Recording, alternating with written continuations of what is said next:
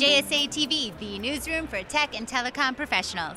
I'm Jaymie Scotto Cutaia, here on the floor of Telecom Exchange NYC 2016.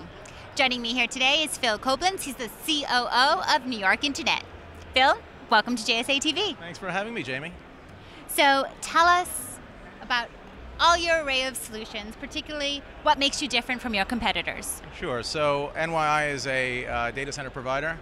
Um, and frankly, these days, what, what we're trying to articulate as our differentiator is a conversion of the data center facility to a solutions facilitator. So um, it's, it's, it's much more than um, simply a commoditized based resource. You know, what we're trying to do is um, uh, really cater to our customers' ability to seamlessly handle the logistical hurdles of operating infrastructure so they can focus on their core competencies. Yeah, and when I think of NYI, I think of customer focus. Uh, you know, everything you do is driven by what your customers need.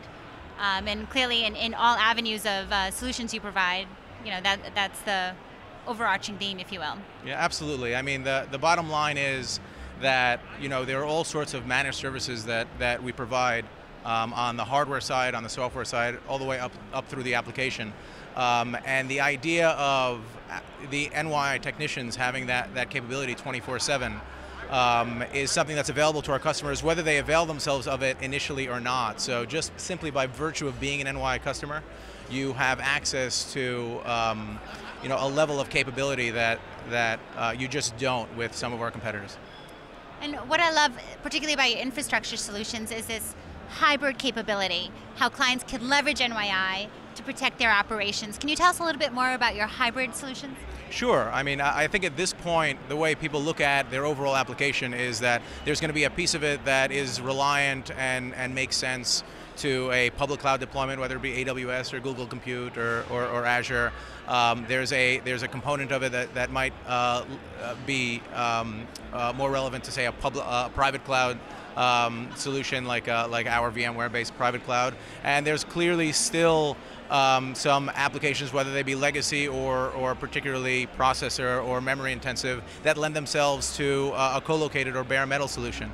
And having the ability to uh, manage all three of those things under one roof is incredibly useful in, in streamlining um, how solutions are, are delivered to, to our customers. So when you talk about something like you know a hurricane season or, or that, being able to certainly mix and match those services and deploy either locally within one of our facilities or use um, our relationship with Megaport to have you know direct AWS connections and, and uh, migrate workloads to a public cloud environment or leverage our private cloud resources in one of the other seven facilities around the country um, that, that you can avail yourself of simply by being under the NYI umbrella is incredibly useful. And you no longer have to worry about you know, theoretically seeing how these facilities perform because in 2012 there was a superstorm that showed you exactly uh, what would happen in, in these types of uh, uh, scenarios and, and we performed beautifully. Otherwise I wouldn't bring it up. exactly. So what type of customers uh, do you usually uh, cater to?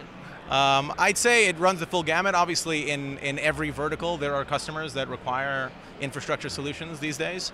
Um, I think we tend to have customers in the technology field, you can call it Web 2.0 or 3.0 or whatever version uh, they're claiming these days, that maybe started in an AWS or a public cloud environment and are now realizing that you know, that's, that's not necessarily the most cost-effective way to continue their growth with their consistent workloads, so, so that's a huge area of growth for us. There's also education, um, uh, healthcare, and, and legal services that, that all have you know, stepped up their um, adoption of uh, digitized uh, elements of their own infrastructure, and, and they have you know, substantial compliance requirements that lend themselves to um, you know, a data center environment.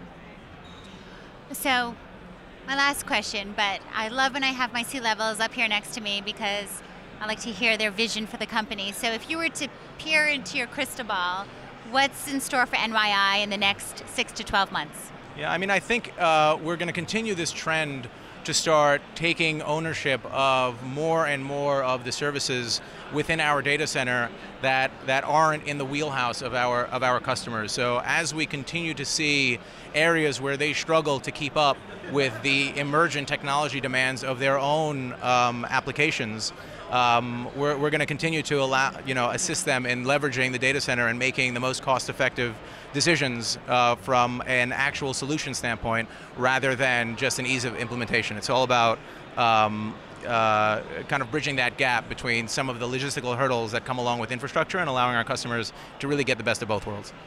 And for our viewers who want to know more information, www.nyi.net. I can say that's a beautiful website. It is beautiful. So nyi.net, check it out. Thank you, Phil, for joining us. Thanks for having me, Jaymie. And thank you, viewers, for tuning in to JSA TV.